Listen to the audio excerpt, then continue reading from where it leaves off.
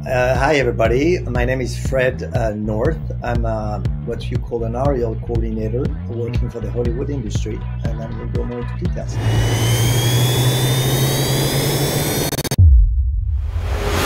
Fred, what's going on? Welcome to the Pilot to Pilot podcast. Thank you so much. Pilot to pilot. I love that. Are you a pilot, by the way? Yeah. Yeah, I'm a corporate pilot. So I fly citation latitude. I got, I just actually looked at my logbook the other day. I have like 5,700 hours, I think. That's so pretty good. a little bit of flying. Yeah. Yeah, that's pretty Yeah. good. But uh, we'll, You're we'll talk a little bit about what do you Yeah. say? You're getting there. Getting there. Yeah. How many hours do you have? Uh, just a bit over 21,000. Oh, dang. Yeah, that's a lot. How many did you have when you were 33? That's a better question. You know, did you get my book? Uh, no, they never sent me your book. Well, you need to get one because right, in, we'll the, in the book, the, re, the the reason I'm saying that is because uh, I use my 13 logbooks that I have because I've paid Yeah. the book, and at the beginning of each chapter, there's the flying hours. So if you read the book, you're going to know how many hours I had at 33. That's Um, awesome. That's actually really smart. I like that idea. I'm If I ever write a book, I'm going to steal that- that. Yeah, the, the book is really fun. Um, Cool. it's a crazy journey and um, it's called flying sideways and it's, it's it's a fun book and at the end of the book you have some qr codes and you can use your phone and the story that i'm telling then you can put your phone and then watch the video of what i'm writing Love it. yeah All right. After this, I'll buy the book. I got to get it. So yeah, some we'll, crazy it happen. helicopter story but there's also plane stuff there's, Perfect. it's, We'll it's make it fun work. it's fun it's fun Well, cool. Well, let's go ahead and get started. Let's dig in. First question I ask everyone is uh, why aviation? Was there just an initial longing looking up, seeing airplanes? I was like, dang, Fred wants to do that. Or was it just kind of a spur of the moment? I'm going to go fly. So, uh, my, my parents are teachers, were teachers. So, absolutely not, you know, French teachers. And uh, I'm born and raised in Africa. So, uh, no helicopters, no aviation, not close to an airport. Nothing in my family was uh, aviation. But Yeah. when I was eight years old, um, I was I was living in, in West uh, Africa in Senegal, and then I was in the street. I'm eight years old, and there's a helicopter that flew above my uh, my house, and then he landed in the soccer field that is close to us. And it's a soccer field that was no grass; uh, it was a sandy soccer field. So when when he landed, and I was there, the sun, the the the the, the wind, the noise, the electrifying moment basically it's like whoa It- it- to me uh, as eight years old living in africa it was like an alien ship. Because there was no cell phone there was no tv you have to understand it you know uh, from my perspective at the time it's like this is a vessel. Like this is an alien ship. And the helicopter landed there were no doors and it was like a five seaters and then the guy that got out of it was my teacher of like social study or something like that at the time. No way. And then he, he had cameras uh, around his, his neck like that and then sorry and then he he was going to do some uh, pictures of uh, uh, the main uh, river that was bursting into the ocean so then he said you want to come with me and you have to understand that this is in 1969 okay Oh, wow. so there was no doors and no seat belts. I'm eight years old. He's putting me in the back. There's three seats in the back. No doors, no seat belts. Who gives a shit at the time? He put the guy, me, eight years old, by myself, in the back with no doors and no seat belts, and I'm holding the seats, and then we go for a flight. And then when they do turns, I'm thinking I'm gonna fall. You know, you're eight years old. So I'm holding like a crazy guy. And anyway, I do that flying and then I land everything. So that stayed like I was like sold on it. So that was my first interaction. Um, and then you have to go fast forward all the way when I'm uh, 20 years old. I'm in the army in France and then I work with helicopter and then everything came back to my mind. And then that's when I decided to be a pilot, you know. When you um, when you had that first interaction, was there any kind of you mentioned later it took a little bit of time before you realized that you wanted to be a pilot. So when you went in the helicopter the first time, you got out. It wasn't like, oh, I'm going to go fly that. It was that was really cool. That'll probably never happen again. Was that kind of your mindset? Well, the first time I was eight years old, so you know you don't Yeah. even ask yourself those questions. It was like I was in in, in, an alien vessel. Like to me, and also you have to understand that that helicopter was an Alouette two. I don't know. It's like a it's like a Mad Max helicopter. Yeah. Um, so it was not it was not like a fancy Agusta. You know, it was not a fancy VIP machine. It was like a rough Mad Max machine, which added to the emo- emotion that I had that day. But it was it was very deep in my mind. My my mother told me I was drawing helicopters all the time, so it was there. Mm-hmm. But it was not like uh, I didn't think about it. It was just there. And then when I went to the army and I had to do some rescue stuff, I was on the ground, but I had to work and interact with helicopters. That's when I said, "This is what I want to do." You know, to be a helicopter pilot. So, what was eight-year-old Fred North's dream? Kind of when you're playing on a soccer field, was it to keep playing soccer? Uh, did you have any other kind of dreams or goals that you had in your mind then? I mean, I know an eight-year-old. How many dreams and goals do you actually have? Yeah, like I mean, astronaut stuff like that. Because my parents were teachers, I wanted to be a gym uh, teacher for a long time, and yeah. then they told me there is no really a future in those those things. and then uh, rapidly, I wanted to be a, a stunt in the movies. You know, uh, nothing to do with the flying part and mm-hmm. then when I went to the army and I worked with helicopter, that's what I said. You know, I really want to be a helicopter pilot. It was not at the time. It was not aviation. It was the helicopter part of it that was interesting me. Yeah. What it's, was uh, what was the timeline for you, or kind of the reason behind going into the army? Was it mandatory? Was it something you always wanted to do? Talk a little bit about that. So my parents. So I was very bad at school. So didn't go to college. I was shit at school, like like you can't even think of. It was not my thing. Okay. Um, so they didn't know what to do with me. And you have to understand, my parents were more academic. They were like teachers and smart mm-hmm. teachers. So I was like a loser, you know, they didn't know what to do with me. So they said, you're going to go to the army. So I, I signed a contract for five years with the French army. And, but before I go there, and I, all I'm telling you here, it's in the book, but it's in a funny way. I'm, I'm telling all those stories. Before going to the French army, I tried to be a jet fighter pilot and I went to do one week of a selection. So it, uh, I'm sure it's the same in the US where you can go and to see if you can be a candidate for to be a potential jet fighter pilot. So I went mm. to a, a, a, place south of Paris one week, and for one week they do a lot of testing to be a jet fighter pilot. So after the five days, so that was that's with the French Air Force. So I do the yeah. five days. After the five days, to me, the way I saw it, I was 18. Okay, I thought I'm going to be the best motherfucker jet fighter pilot ever. Like I thought all the testing were fantastic. I was feeling good yeah. with myself, you know. Then I go to in front of that guy. Uh, he's like a, it's like a general, like a, like a high rank. And he was the one to make decision on who will be admitted to the program. and then that, it was a Friday, like 5 p.m. I remember all my life.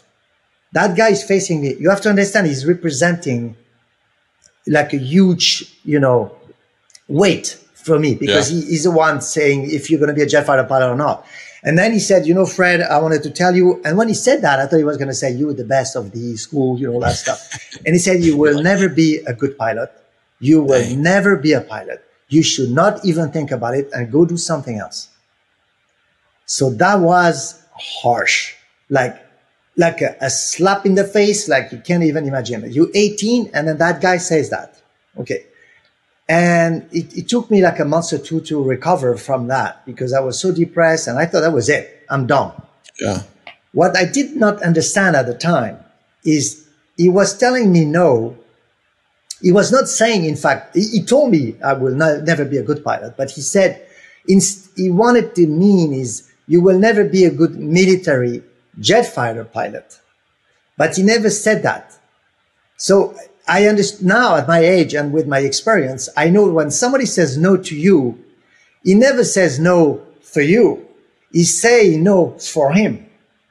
Yeah. Okay. So you have to make sure that you don't take that as a no necessarily because he doesn't know my life. He didn't know really who I am. He, that, that guy was the first time I met. Okay. He would just took a bunch of uh, testing and then, uh, and my, my main issues was uh, lack of uh, discipline. Like I didn't really like somebody tell me what to do and something stupid. Yeah. So all the testing that I did with their military shrink didn't go well.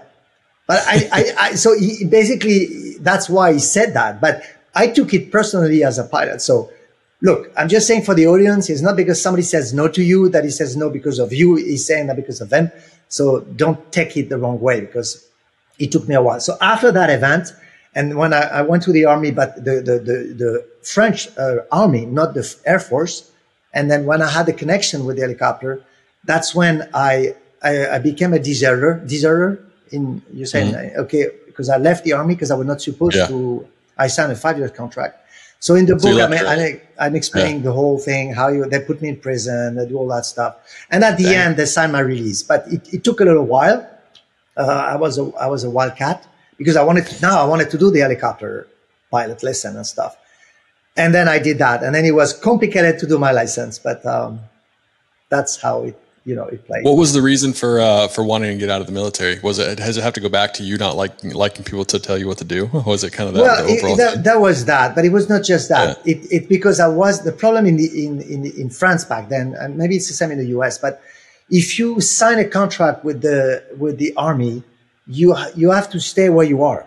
You can't change from the army to the air force or to the navy. You Yep. stuck where you are. And Yep. when I asked them, "Can I go to the helicopter uh, army division?" They said, "No. You are." Uh, I was doing. Uh, I was mountains and rescue uh, team yeah, uh, because I was a good skier and I love the mountains and climbing all that stuff. So I was in uh, Chamonix, which is in France, uh, uh, mountains, one of the highest peak in Europe. And um, so anyway, they said no. So because they said no, I figured I have to get out of the army and then do it in the civilian uh, world. That's why. So how'd you get out? I mean, I know you said you deserted, but like, what did you do? Did you just run away? Did you like in the middle of the night? Just, I went to New York on vacation to Okay. see my girlfriend and I stayed there. You know, I was supposed to be gone for one week and I stayed for like two months. And then when I came back, the problem is I came back the wrong way. So instead to come discreetly, you know, and, and they would have got me, but I mean, instead to, I, I didn't do it, the, the, the, you know, you should read the book because I explaining how I did it. But lo- long story Yeah. short, I came with, because I came from New York as a French guy, I came with all the cliche, the American cliche that you can have as a French person looking at Yeah. America. Back then, uh, you have to understand that's in the 80s and stuff. and I came back with rollerblades. Uh, I had a yellow Sony, you know, the, the, the speakers, the two speakers, uh, handheld thing, the yellow one, the Sony that was super famous back in the days. So I had it on my shoulder with my backpack and I was rolling and I went inside the, the base. The problem was it was 8 a.m. in the morning and there were all the soldiers, you know, doing a flag thing where you do the Oh. salute the flag in the morning. So when I Yeah. came like that, that didn't go well. So they put me in prison directly. I even didn't go to my room. So oh anyway. Did you ever think about to stay in the United States? Just be like, ah, let's stay here as long as I No, can. I- then I, I- I can't arrest me here. I, I, I, wa- I wanted to do that, but I didn't have a visa. Um, it was, my English was like, like, like your Chinese, maybe like really very good. sucks. Yeah, no good. Yeah. So, I got Ni Hao and Shay Shay. Right. But it. it, it was uh, about good morning and have a nice day. You know, that's it. So it was, you know, of course I could have, but I was not mentally, I didn't have money. It was like, uh, Mm. You know, so no. So then I, ha- I had to leave the army and then do it in France and then, you know, did some crazy work job to find the money Yeah. to do my lessons. So, all right, you are uh, you officially well, let's say you clear your name. You des- you deserted the army. You're you're doing your own thing now. Yeah. Helicopters was all that was on your mind, right? Like it was Yeah. like I want to fly helicopters. That's all I want to do. Yeah. So, did you stay in France to do that? Did you Yes. come back to the states? Okay, so you stayed in France to do Stayed in. France to do that. You, had, Yeah. you mentioned you had no money. So, what did you do for money? Did you uh, So- just work all the jobs? So my girlfriend gave me a little bit of money. My parents gave me a little bit. So my girlfriend gave me the most. My parents gave Mm-hmm. me what they gave to the other my, my siblings because I have a twin sister, another uh, a smaller brother, and, a, and a, a bigger sister. So they gave me you know like uh, the equivalent of five thousand dollars basically at the time. Okay. And then my girlfriend gave me like thirty thousand. That was the biggest chunk. And with that Oh, money, wow. I bought a used a car that, that had like a little little damage from insurance company and and old garage, like shop. And I fixed the cars and then I sold them with a profit. And I did that for like eight months. And then with the thirty-five thousand dollars, I made it to sixty thousand. And then I had Nice. enough money to pay for my uh, lesson because I didn't want to stop in in the middle and not be able to keep going. So I went to the, there was a heliport in Paris and I went to the, that company called Heli France. And at the time they were the helicopter company in Paris. And they had a shuttle that was going from like, like if you were in LA, LAX to the city or like JFK to New York. So they had that in Yeah. Paris. And I told the, the, the CEO of that company, I said, I will do anything to be able to uh, learn in your company, to be a pilot in, you know, in your company. yeah. He told me, but you don't even exist. Like you don't, I, I don't hire pilots unless you're 2000 hours. I said, I'll, I'll do anything. So then he said, okay, you can work for, you know, as a ground crew at the local airport. And if you want, you can come back every day, do six minutes of flying each time. So I'm not going to pay you, but you can do six minutes. Very generous. So then I worked 10 hours a day. I was doing six minutes in the morning and six minutes at the end of the day in the helicopter flying with the guy. And I was telling people where to go to the bathroom. I was carrying the luggage. I was uh, driving the van. So I did that for six months. And they saw that I was really a hard worker person.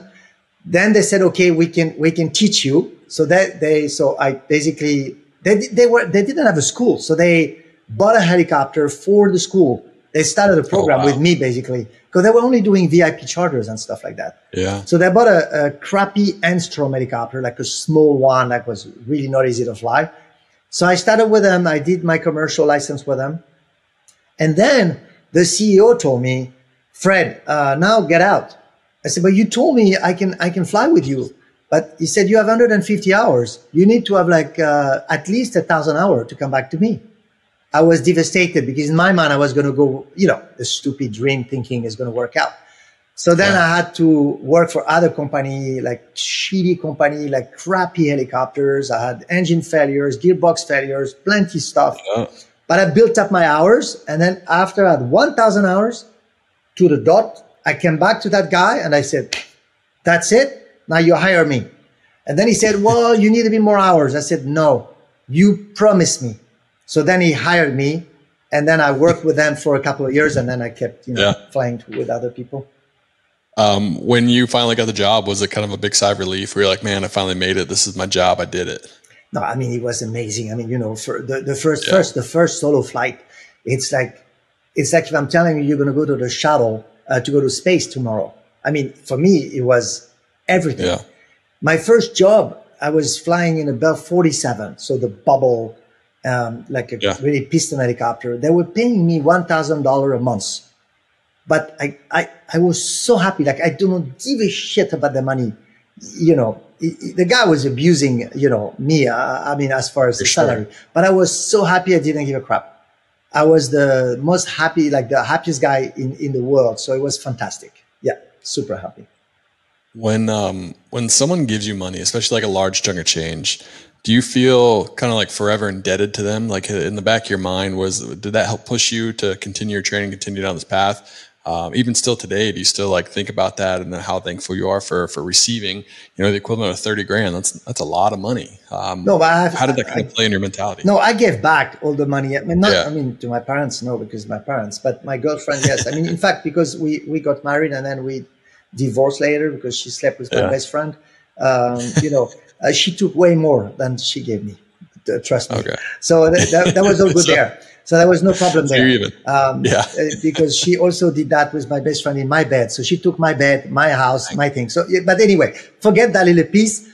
And in the, yeah. in the book also, I'm, I'm, I'm, I'm saying a lot of that stuff. But anyway, it's more funny than anything else. But no, I didn't, uh, I don't like to owe money to anyone.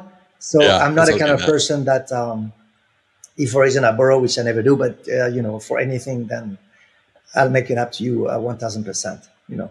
Yeah, yeah, yeah, it's uh, it's tough getting the money. I mean, that's one of the biggest kind of cost entry, right? Right. Is uh, or prohibits people getting in is the money, and you have to essentially. There's multiple ways to do it, whether it's loans, whether you're lucky enough to have someone lend you the money, uh, a family member or a girlfriend. Yeah, you have to find a way. But to me, yeah. each time I, I hear, hear people saying, you know, money is an issue, I said you should not see it as an issue. Okay, it's a way for you to go to get things. So try to make the effort to get that way you know, because it, when you say money, often it's like, oh, you know, I need the money for this and money for that. But if it's not your license, it's going to be a house. It's going to be a car. It's going to, it's, it's an, it's a, a mean to get something and it's going to be there all your life anyway.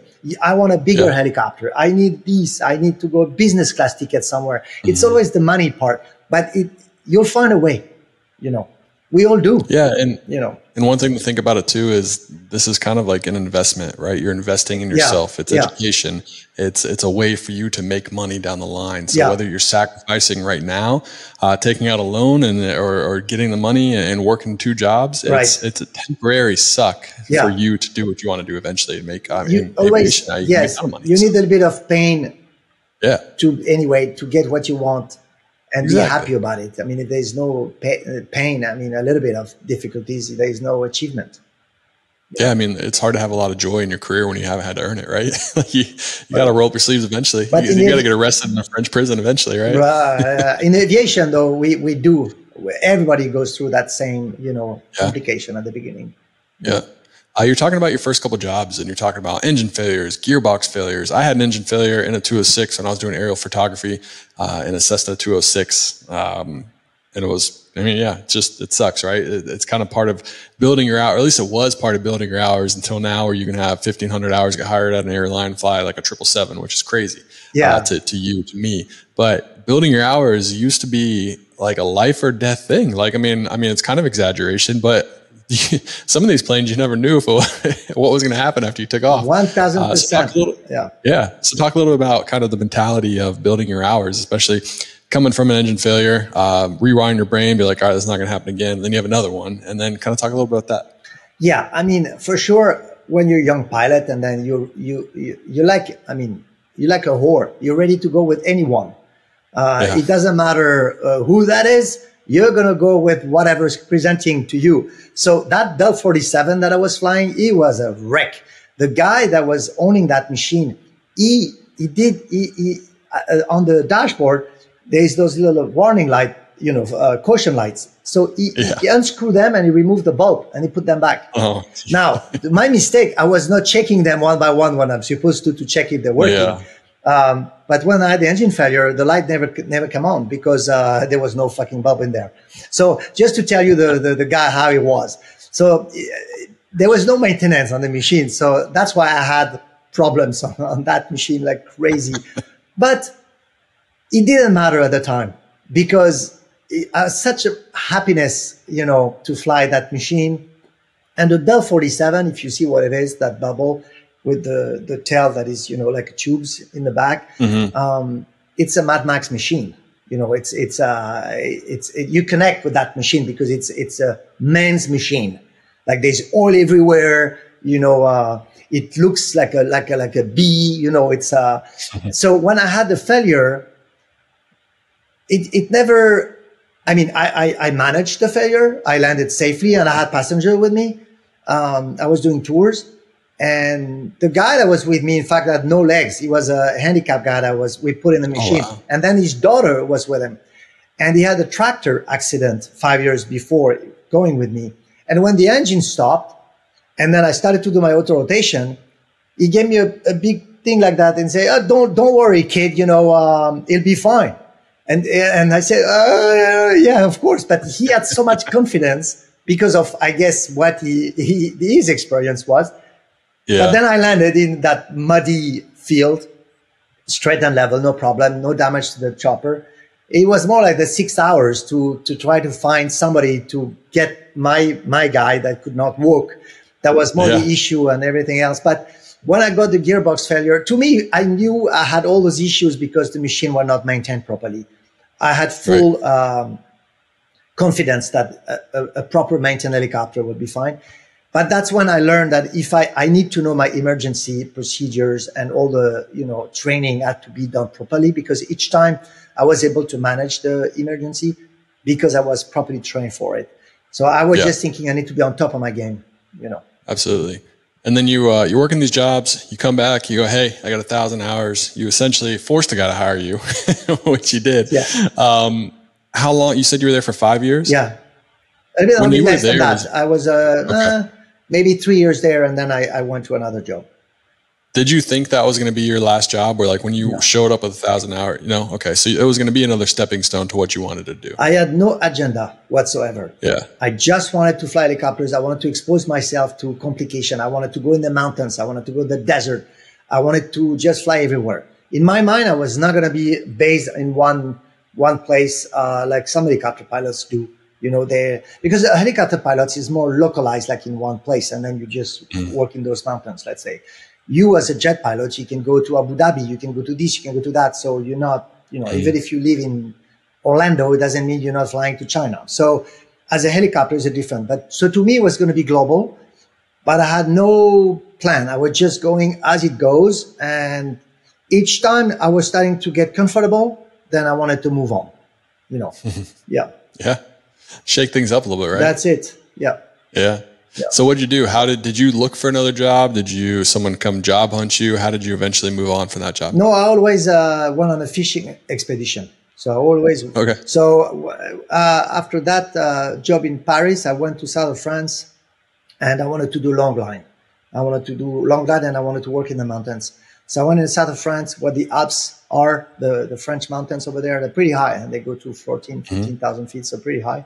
Um, and it's like steep, and you know it's cliff. It's not like a roundy mountain. It's like scary mm-hmm. as hell. So I went there, and I started to do long line, and then long line. Um, in the book, you laugh uh, your ass off. So in fact, before I go there, when I was in Paris, the chief pilot told me one day, Fred, there is one guy, he's sick, he's not there you need to go and you have to understand it's in the 80s so it's not the same than uh-huh. today. And back then in france there were there was a that, that helicopter company was taking santa claus for christmas and then putting the santa claus to the school. So we're picking up the santa claus under the helicopter on the line and then we're dropping the dude in the school with all the kids watching okay? Santa That's claus. weird. so i was not supposed to do that. I was not trained to do that. So the santa claus story is pretty hilarious today it was not hilarious back then. But there was a, so basically we're picking up the guy on the outside of the school and all the kids, you know, uh, four to 10 years old, you know, a couple of hundreds were there waiting for Santa Claus. The wall was maybe 15 feet up around the school. So pick yeah. up the dude 300 yards from that wall. I never done that. So I don't have a mirror. I don't know how. So I'm looking down and I, I have no clue about the depth. There is nobody at the radio to give me anything. Long story short, I lift up the guy and then I go up above the wall, but the guy is going to hit the damn wall. Like there's no way he's going to pass. So people can see him trying to climb because he can see the wall is coming his way. And then the poor Santa Claus slammed into the wall. Luckily, I was not going fast, but he hit the wall. But worse of the worst, I keep going, which means he yeah, he's being dragged, dragged. above the wall. and then I drop the Santa Claus and you can see he's not in good shape in front of those kids. So they're traumatized for life because Santa Claus now is a wreck. They will never be a helicopter pilots, those guys. Ever, oh I guess. Gosh. So anyway, that's a Santa Claus story. It's in the book and it's funny as hilarious right now. But it took me a while to recover because it's like I, I really hurt a Santa Claus you know, it, it's not good for the uh, resume. That's hilarious. So anyway, it's just, was, I'll keep going. That was one thing, and then I decided I wanted to be a long line pilot because come on. So then, eh, eh, look, they didn't do anything bad to me at the time because it's not. It mm. was my fault, but I should not have done that job. I should have been under supervision. I should have somebody to tell me how to do it, even if it's my fault. You know, if it was today, I would say, well, I'm not qualified. I can't do it. But back in the days, you know, he said, shut the fuck up, go. Sure, I'm going to go. so anyway, I went yeah. to the south of France and I did long line and mm-hmm. something else happened there.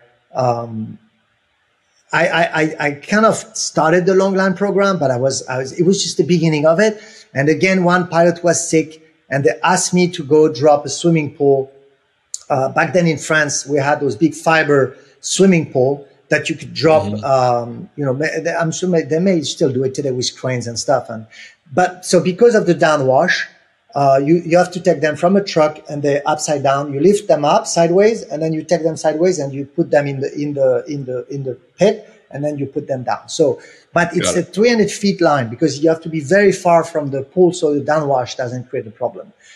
That day was a windy as hell. Again, the chief pilot tell me you're gonna go drop that pool. But I never done that. And the, the, company back then told them, you know, it's pretty windy. We would prefer to reschedule the, to, to drop your, your pool.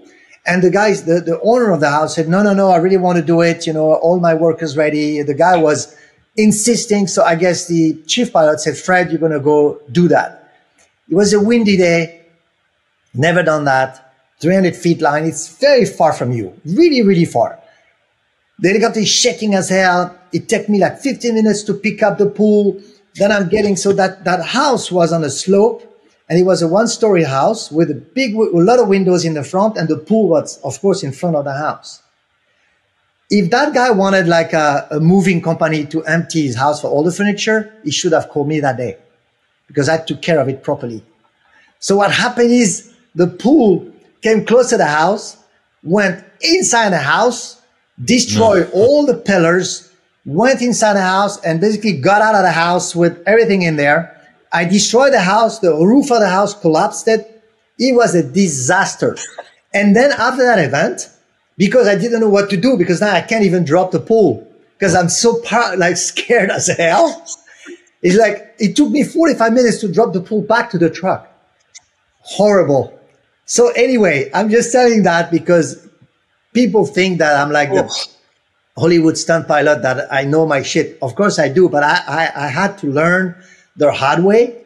It was not easy to do. So in the book, there's plenty story like that. That is so funny now right? Um, dying, yeah. And I, I, had, you know, my I had to pay my dues. Let's put it that way.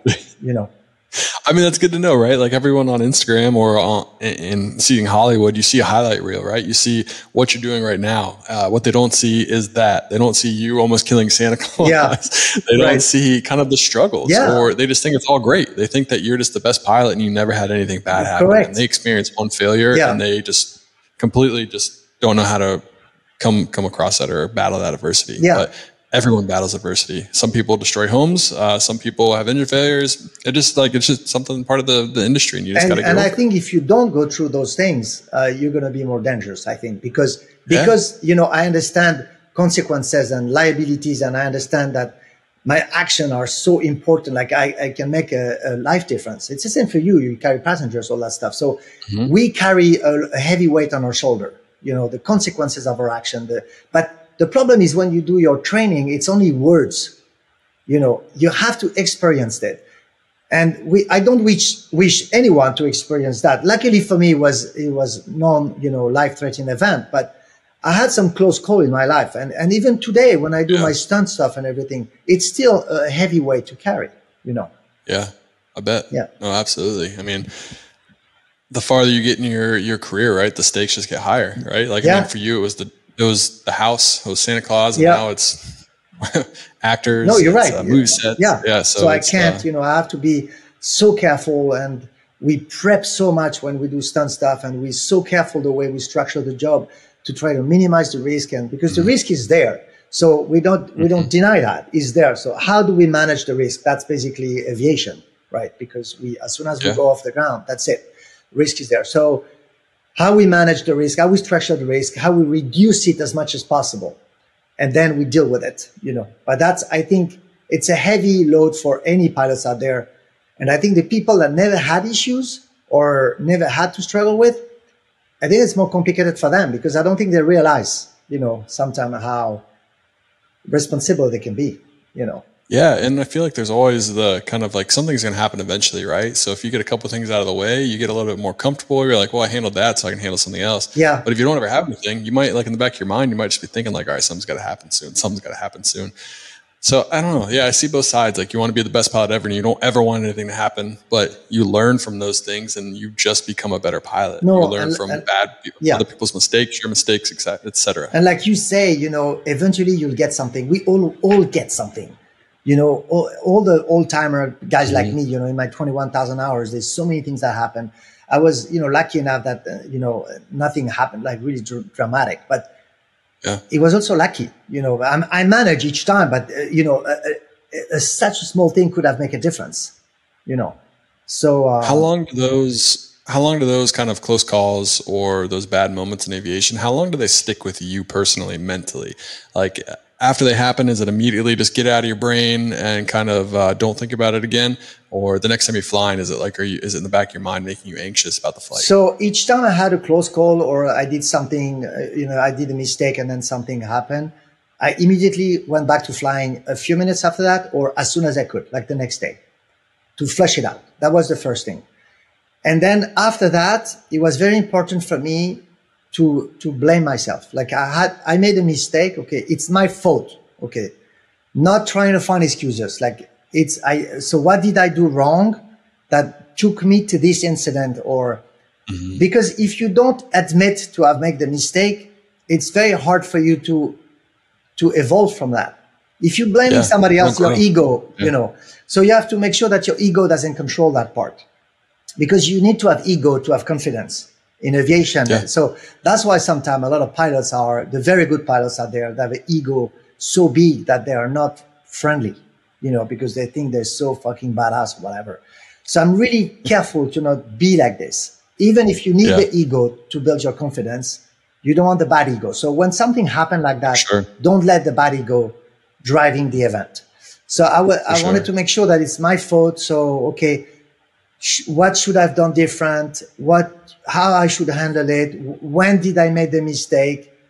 What should I do better? Sometimes it's not a direct mistake that led to the issue, but somehow in that chain of event, to a point I've, I made the decision to go this direction or this direction, you know. So I go through that and then I, I try to go through the, the motion of everything that happened in details so I can then forget about it. Yeah. But I need to go through that. So that takes me a few months because it's, it's, it's always a heavy thing for me to carry. Like I, I really hate that stuff. And, um, each time something happened, which is, it's rare, but when something yeah. happened, even if it's a close call for something, um, even sometimes if it's not directly related to me, it can be a stunt guy that make uh, there's a, a, wrong timing. It's not a mistake on his part; it's just a wrong timing, which is easy, yep. uh, hard to get sometimes. So yeah, when we did the Extraction Two movie, I don't know if you watched it on Netflix. Yeah, I land on a moving train, and there's five guys that get out at 60 miles an hour, and five guys get out, and one, one, we were doing the, the training. There is a, a, a, time where the fifth guy, that was the last one in the helicopter to get out on the train, he, for reason, so what happened is because when I was on the train with one skid on the train, I could not look in front of me because there was some trees coming up. So somebody was telling me when I had to go because I only I had uh, 22 seconds to do the gag because there was trees at the beginning and trees at the end. So I was not looking there because I had to look at the train because I was landing on it they were telling me when the last guy was out and when I could go because they wanted like a sexy, you know, like leaving like a badass. And the guy that was gave me the action to go told me to go when four guys were out, not five.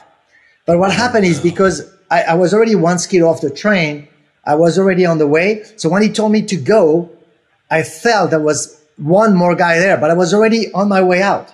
At this point, there was no way for me to stop. When we did the training, I told that guy, I, I told all the stuntmen, when you're going to make the decision to get out of the helicopter, it's up to you. Like you have to commit or stay on board. But if I'm going and then you're in between, it's your call. At that point, I can't stop. I have two five tons machine going off. I'm gone. Yeah. That guy, he decided right? to, to keep, keep going because he has one foot yeah. on, there was a bench uh, on the side of the helicopter. So he got on the bench and then he had to jump on the train. When I left, he was still on the bench. So now I'm going this way. And then he went off. He went at 15 feet up in the air. We were going 60 okay. miles an hour on the train. The train is only eight feet wide, huh? And he landed right on the middle of the train. And we put nets on each side, little nets, just in case uh, one of the stone was falling off. He stayed in the yeah. middle.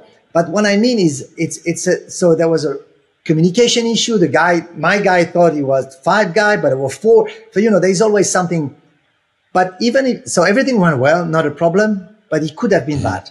Because if he would have yeah. jumped like half a second later, he would have jumped on the track and, you know, would have been super bad. So it's not easy what I do as a stunt film no, pilot. Definitely not. But I don't think anyone would ever assume that what you do no, but sometimes social media yeah. people assume that, oh, you know, that guy can do anything, that kind of stuff. It, oh. It's not like that, you know. Um, how did you? So it's kind of like get caught up to where you are today. How did you get into this? Um, I know that kind of you sound like the kind of guy that like opportunities come calling to you, and you kind of decipher like if that sounds fun to you or not, right? Will that bring you joy?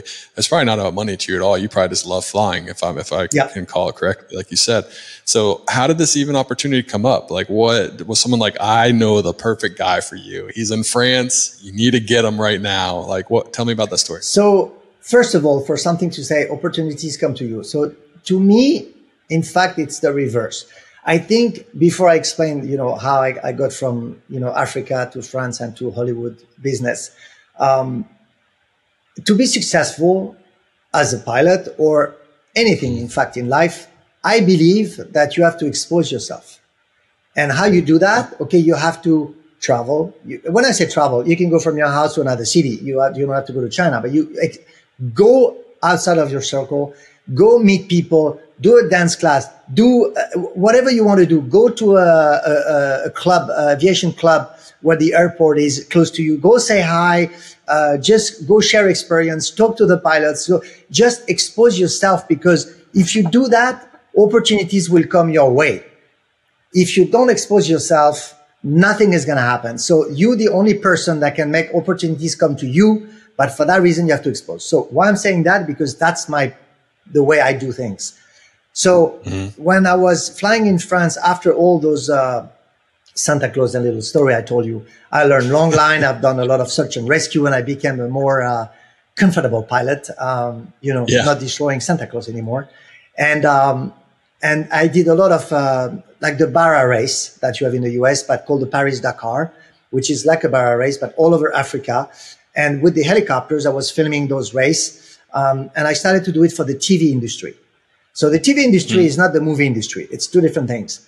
Um, it took me a long time to understand that the difference as a pilot to work for the TV industry versus the film industry is as a TV, uh, the TV industry, when you fly as a helicopter pilot for even a fixed wing, if you're filming an event like a Formula One race or um, a Baja race, it's not that much the way you're shooting it. It's make sure you're going to shoot the finish line, who's starting, who is ending. They want to know what's going on on the ground because that's what matters. Of course, if mm-hmm. you get a beautiful sunset, they're going to say fantastic, but don't get the beautiful sunset and not get the car that is finishing finishing the race. Right. So that's right. TV business, which means there is not a lot of creative part. You have to fill up the contract because that they need to know who is number 89, uh, shoot number five, make sure you get number six finishing the line. So I did that for a few years without understanding really those things. Um, mm-hmm. And then one day I did a, a movie in uh, Venezuela with a, a, director of photography, the guy that did Top Gun, the first Top Gun. Okay. And that guy explained to me. So I, the reason I went in Venezuela is because exactly what you said. They wanted, they, they, they had a, a helicopter in Venezuela that just been bought from a French company uh, in, in, in, in Venezuela. And they, the registration was a French registration. So they needed a pilot that had the French license to fly that French registered aircraft. They, they did their homework and they f- find out that I was the guy in France at the time to hire. So they call me and they say, would you want to come to Venezuela to shoot our film?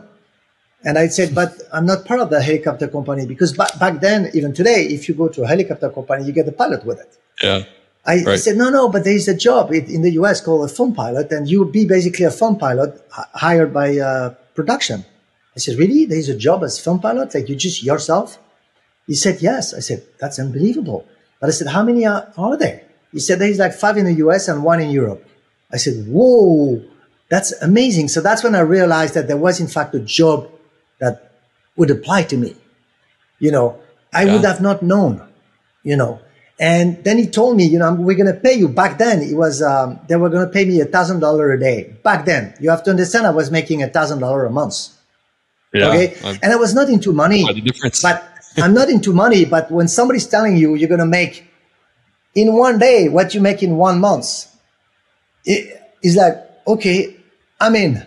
You know, and and then so I went didn't think about the money. You know, I, I, for three weeks I did the job and everything. What it taught me is if you shoot for a movie, the way you're shooting the sequence is the, the, the reason you're telling the story. So let's say you're filming a car going from an airport to the city. Mm-hmm. Okay. Because the guy just landed and he's going to the city. There's a dialogue in the car. If it was for TV, the only thing they wanted to know is going from the airport to the town.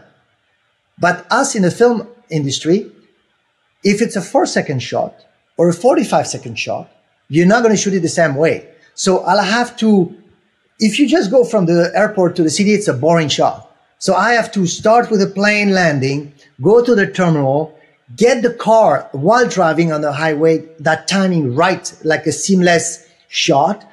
And when I, and then I get to the car, I zoom into the car, then the dialogue start. And then the guy, blah, blah, blah, blah. Then when he's done talking, I zoom out, I go behind the car and the guy goes toward the city and I see the city where he's going. So that's movie. when TV will be just to show where the, the damn car go. So I, I learned that the film pilot has a huge input on the creative part, which I love. Even as of today, I love being part of the creative because you're a dolly grip. You're the one moving the camera. You become the camera. And as a camera pilot, I love that. You know, like I'm the image. I'm the one. The helicopter doesn't exist anymore. So that's from that film mm. in Venezuela. I understood all those principles. And then from that yeah. film, I decided to invest my effort, energy, money, time towards the film industry, you know, to become a film pilot. When um, kind of early on in the story, when you first went to America, English wasn't kind of like a, a your best language. When did English come? Was it just like a constant practice? Like a lot of TV shows were in English, everything was kind of English, kind of picked up from it, or did you have to make a concerted effort to really kind of like become fluent in English? Obviously, when you when you take your aviation test, you have to have some kind of proficiency in English. So I assume it had to do something with that as well, right? Well, I mean, the truth is, when you do your FAA uh, commercial license, the English doesn't need to be that great because mm. what do you do? You do your commercial test, but it's 600 questions and the that you have to learn. So yeah, but aviation words, you know, usually uh, basic pilots, we, we know wind, yeah. vent in French, you know, you, uh, weather forecast, yeah. meteo, you know, it, it's, the words are not that far apart. Um, helicopter, helicopters, you know, so anyway, you, you know words that are similar in, in all languages. Right. In Spanish, helicópteros, you know, it's not that far away. So I had basic, but what happened is while I was becoming a film pilot in France, I mean, from France all over the world, but not in the US, American production was starting to call me. So I slowly by slowly learned English on the street, as we say, like, like not at school. Remember, I'm terrible at learning stuff at school. So I'm not good to, uh, to take a book and try to learn stuff. Not my thing. Yeah. You mean the real world. 100%. So then I had like an yep. English that was kind of okay from an American perspective, which means an American guy coming to France talking to me, it was, that was okay with that. But I wouldn't, I was not okay to be a French guy living in LA, which is a different perspective. Because if you come yeah. to me in France and my English shit, you're going to, you're going to tell me, oh, your English is not bad. Now, if, if we go to, I go to LA and you talk to me, what the fuck is that English? You know, so it was different. So then slowly by slowly, I had a bit of wordings. And then at, um, 40 years old, that's when I made the decision to go to LA to do, to go yeah. to the US to do the amazing American movies, to do the big action movies. I had to be in LA to be known in the US because mm. American production, they bring their own pilots everywhere in the world because they need to have that, that, uh, trust relationship and to know the person to make sure that person knows what he's doing they will not use a local guy because they don't know if that guy knows his thing. Exactly. 100%. Exactly. So then that's when I decided to move. When I moved to the US, I was 40 years old. Nobody's waiting for you. Nowhere. Okay. I only knew one guy in the US, the, the guy that I flew in Venezuela, Larry Blanford, mm-hmm. that did the first Top Gun. And he told me, Fred, I will help you, but it's not going to be easy because the other pilots, they're not going to be welcome you there. And it's not going to be easy to have the producers trust you you nobody, your English shit. Uh, you know, you don't know anything. You don't know the rules in the US. You don't know nothing. So I did my FAA license. And anyway, it was not easy. You know, my first job was in New York on the Brooklyn Bridge. I had no FAA permit. I even didn't know you needed an FAA permit. I shot the damn car 50 feet from the cars, open traffic, crazy. Don't do that at home. I'm telling you, don't do that. But it was 20 years ago, you know. And I didn't know. And then I learned and, you know, I yeah. made my mistake. And then, um, it, it, you know, look in the book, I'm explaining plenty stuff for that. I explain all the little yeah. things. Um, the journey was not easy. Um, I, I, I, got denied for a visa. My wife was pregnant. I had, uh, I put all my money into the US to LA. I had no, I was not coming back to France.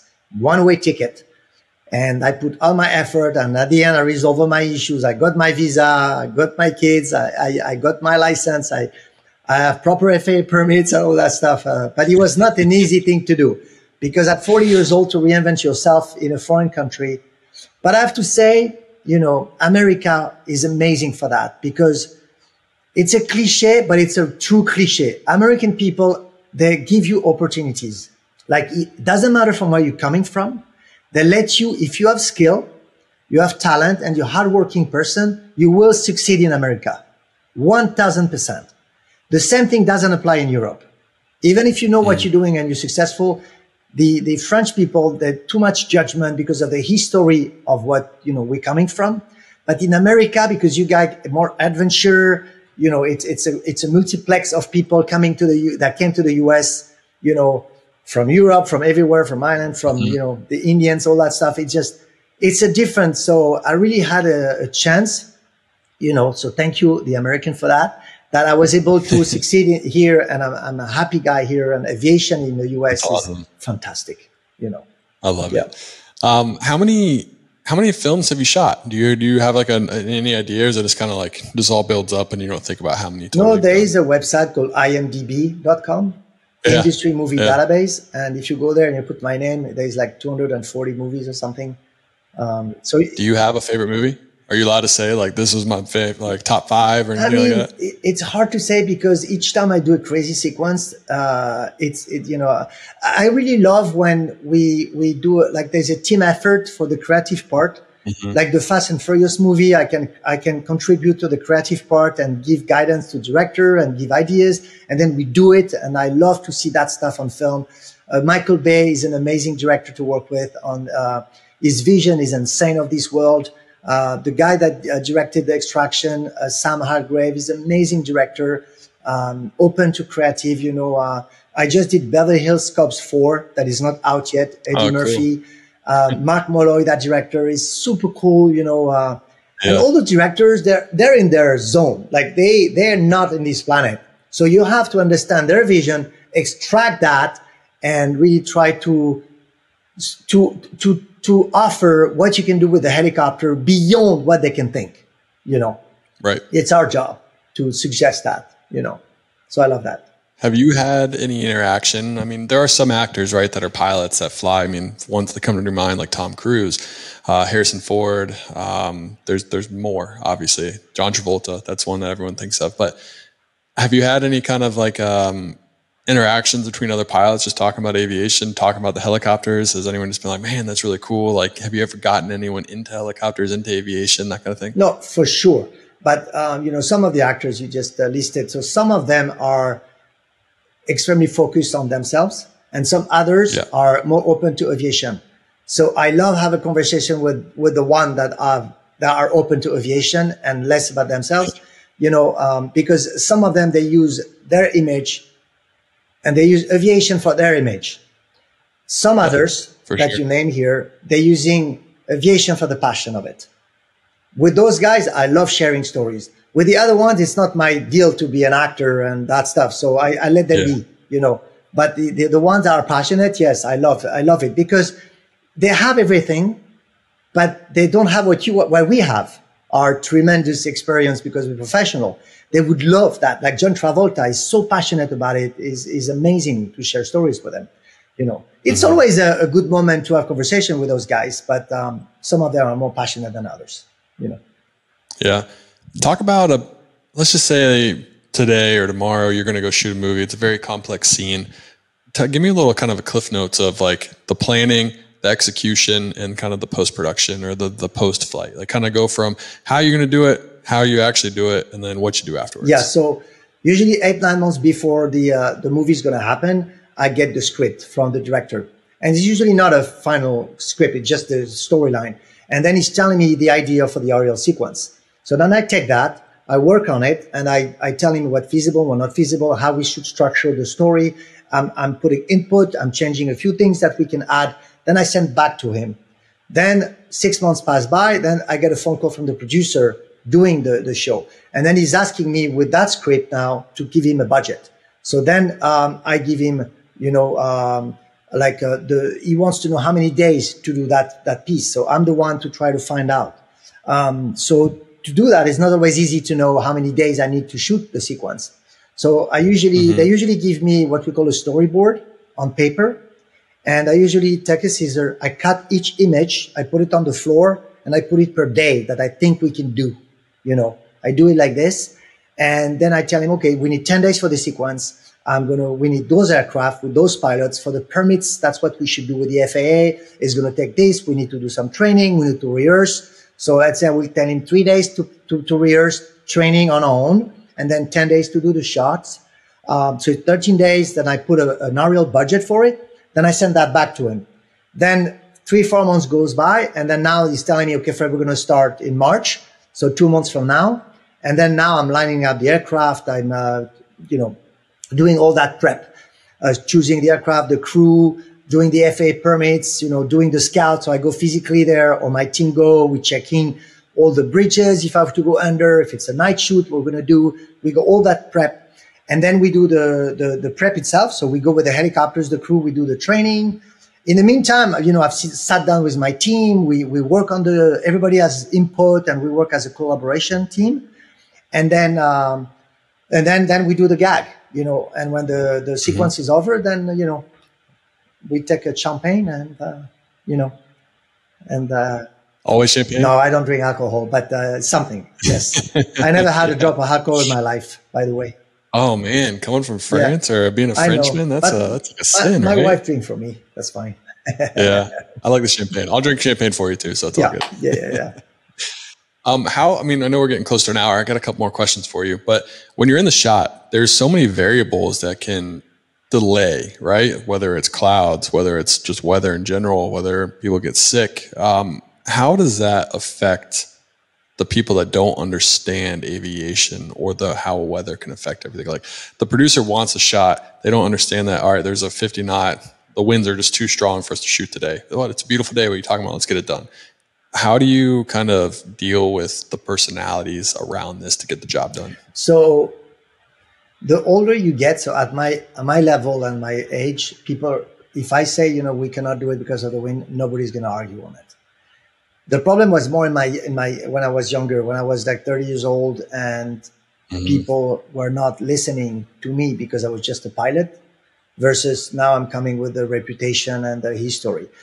So mm-hmm. in Hollywood, because people are extremely professional in, in the aerial world, because they've been doing aerial work for decades, and they know impact. You know, uh, yeah, there's some famous accidents that happen on a you know movie uh, like Twilight Zone or other things that it's still yeah. present in people's mind. So if you say no, I'm not, they're usually asking me what will be your win limit. Let's say there is a, you know, we if we work in, in Chicago, for example, where it's a wind city, they will tell me, you know, what will be your limitation? And I said, it depends what we do. If we're on the lake, I can fly 35 knots, not a problem. But if it's in the city between buildings, 20 knots is a max. So I, I give them those numbers before we do the show. And then on the day, it's always windy over there. I mean, it's very rarely that there's no wind in Chicago, for example. And we had mm. that problem on the movie Rampage. Um, yeah. With uh, Dwayne Johnson, and that was between buildings, crazy wind. And I told them, you know, we had to stop. And uh, it cost them, it was a Sunday. We only had the, the city 10 blocks. We owned the 10 blocks downtown uh, Chicago for uh, four hours, Sunday morning from 8 to 12. And it cost them a million dollar to buy all the businesses, all the streets, you know, it's a million dollars for four hours. That's not the cost of the yeah. production. It's just to buy everybody out. And then I told the producer, you know, it's too windy. I can do it. And they don't, they don't, um, they said, no problem, Fred. We're going to do it another day. There's no question. So they rely on me to make that decision. And they know that when, when I tell them, they know that I'm on my max. Like I'm not the kind of guy that will, if there is a, a little, I think he can maybe do it, they know I'm going to do it. But if I say no, yeah. that means there is a wall and I can't do it. So it's it's not a problem. Never a problem. Do you now? Obviously, these are kind of like your minimums and kind of your kind of safeguards. But I'm guessing through this, you have to have some sort of insurance, right? Like you can't just go out there. But is there anything? Does insurance guide any of this? Um, how do, insurance is huge in aviation. Kind of dictates who you can hire, how you can do stuff, how you can fly. Um, is there any difficulties with that with this kind of uh, this kind of job because you're flying way closer than anyone else flies the stuff. You're flying faster, um, doing crazy stuff. Like I mean, there's no other really. it's cool, but it's like it's people don't do this every day. No, but so I have the same insurance broker for 20 years. First of all, so we okay. have a relationship. Okay, so they know me. Um, and their name is Sterling Risk, by the way. They're amazing, you know, insurance company. And then yeah. they the thing with insurance in general, they need to understand exactly how you do your operation. Okay. Most of the time, they're very expensive because they put you in a box and they don't really understand what you're doing. But you, okay, you're doing mm-hmm. school or training. Boom, you're in that box. But they don't know the way you're doing it. Okay. You do search and rescue. they put you in that box. But everybody has a different way to approach uh, risk. They have a safety uh, mm-hmm. program that is different. Everybody's doing different for safety. So the way I do my film work, they know. So I, I invite my insurance broker on set. He can see what I'm doing. Um, I'm trying to have a conversation with the underwriter. I say, can I talk to them? Sometimes my insurance guy say, absolutely not. But as a joke, you know, but now with my social media, they can see what I'm doing. There is no, yeah. so I'd rather work in transparency with insurance and tell them that's how I do the business. And, and we're super safe. We're very careful. Is there a risk? Yes, but we manage it. Yeah. And we have insurance to cover it. Now, I don't want to use my insurance, um, but you know, that's where they are uh, for. And it's expensive, but there is a transparency and they understand how we mm. do, you know, manage safety. You know. It's funny. It kind of sounds. Did you ever see the movie Along Came Polly? Yeah. Ben Stiller. Yeah.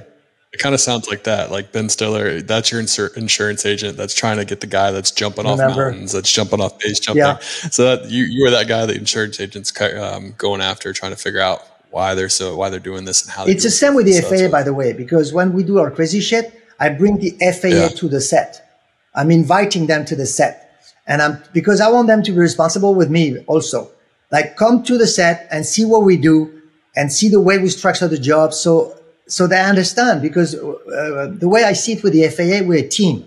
It's not them against mm-hmm. me. I'm not me against them. I'm not trying to hide them something. I want them to know what I'm going to be doing, the way I'm doing it.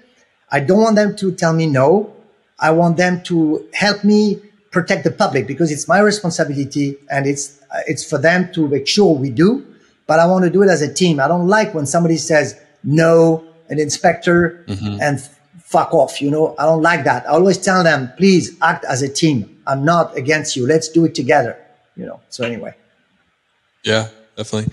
Um, what, what what's like one or two kind of scenes? I know you already shared one with a guy jumping off like 15 feet in the air, uh, almost killing Santa Claus. a little bit different, but um, is there any? I guess it's a better question. Was there any time that you've been in a stunt and it's just been too much and you haven't been able to do it? It was just um, either got too reckless, it got too kind of out of control. Um, is there any kind of like mid shoot stunt that you just like absolutely could not do? Couldn't finish the job? I mean, usually we never go to that point because when they telling me, you know, what we're going to be doing, and let's say they want to do something crazy, but I mean, usually, first of all, I work with a stunt coordinator.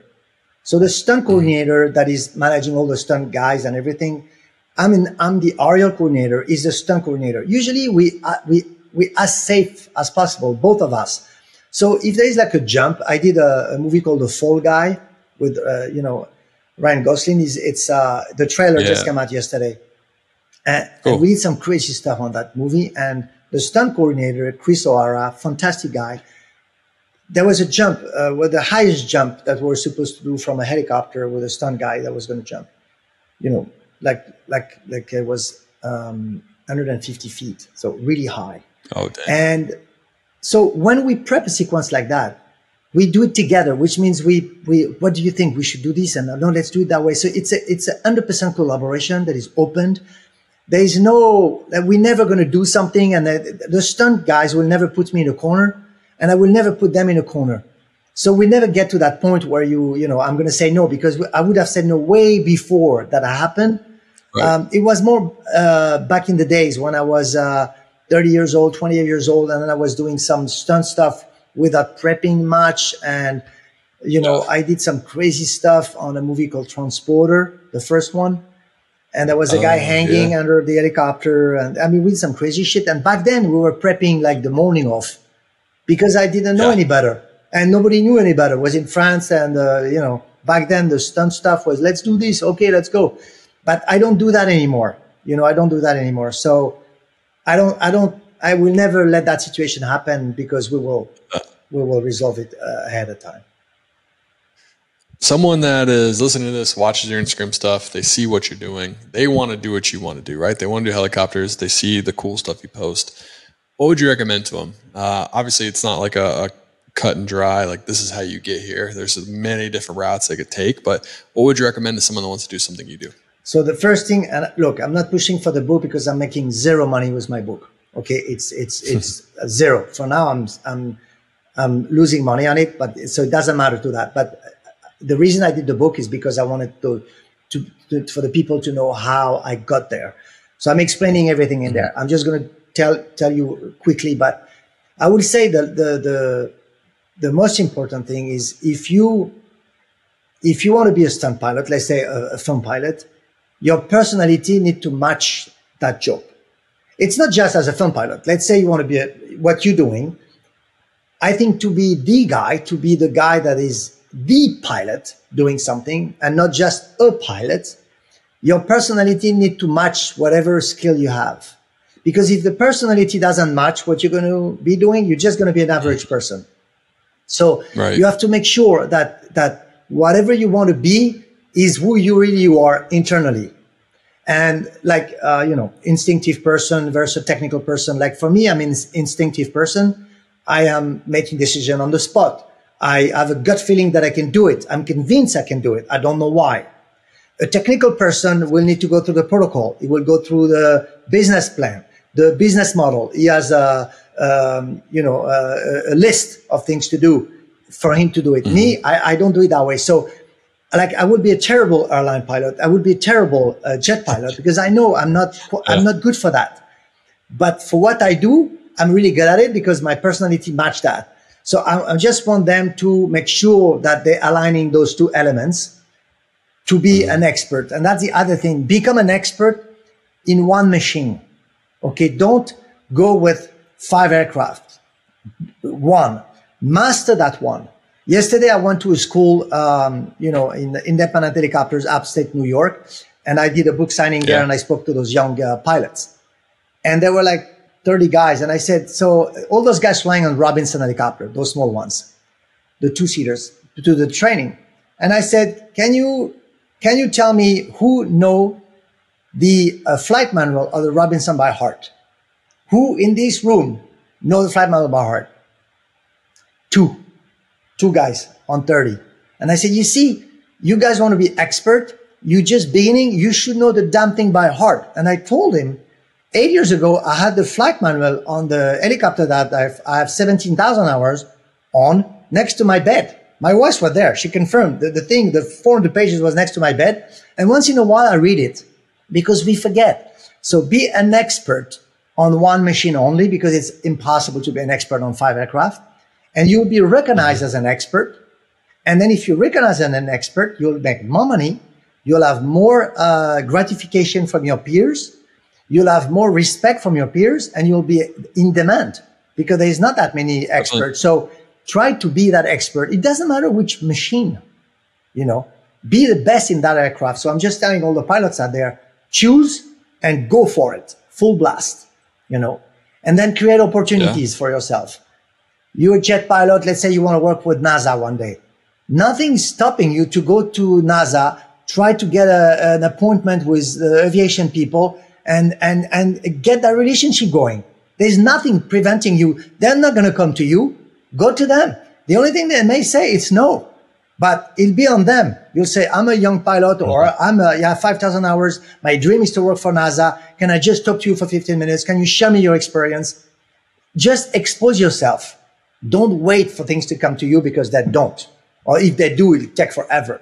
So that's the other thing, yeah. you know, go and knock at doors like if you want to be a stunt pilot, send me a message. I respond on my social media. Each of you guys, I respond, you know, don't ask me, you know, what the weather is, of course, but ask me something legit and I'll respond to you, each of you. That's why I did the book plus, you know, all that stuff. So that's, that would be my recommendation. Yeah. All right, Fred. Thank you so much. Thanks for spending an hour of your time with me. Uh, I want to go ahead and give me the opportunity, or not the opportunity, but tell everyone where they can buy the book, uh, the best place to buy it, follow you, do all kind of those social media things, and let everyone know uh, how they can support you. And uh, thank you so much. So yeah, the book is called Flying Sideways, and you can right. get it on on my social media on Instagram. There's a link shop. You can click there. Very easy. You can also get it by Amazon. Um, easy to get.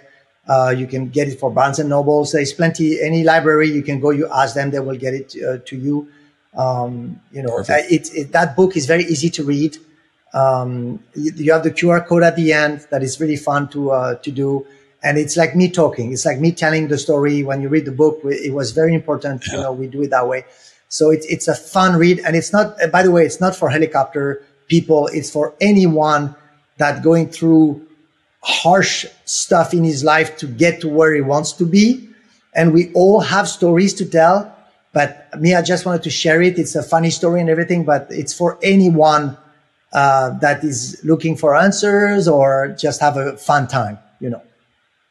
I love it. Well, if it's as fun as this conversation has been, then it's going to be a great yeah. book. So I look forward to yeah, reading it. Thank you so much. Thank you, Justin. All right, yeah. Fred. Thank you. I hope you have you a great too. day. Thank you. And anytime we can do uh, another we'll one. No worries. Well, to okay. do it. Yeah, we'll do one live on set one day. We'll talk about when the, when the uh, yes, we can always do that. Send me a message because I I, I forget. So yeah. Send me a message on Instagram. Hey, Fred, don't forget if you can because I can always take you on set, um, and then you'll become part of my team because that's the only way I can get you on set and then you'll become part of our team, and then you can uh, work with us for a day or two, and then uh, and then you get paid. That'd be sick. let's do it. Yeah, let's make it happen, yeah. man. That'd be yeah. great. Well, have a great day. Uh, I wish you all the best. Like I said, I'm gonna go buy the book. So have a good yeah. Thank you so much, Justin. Take care. Bye.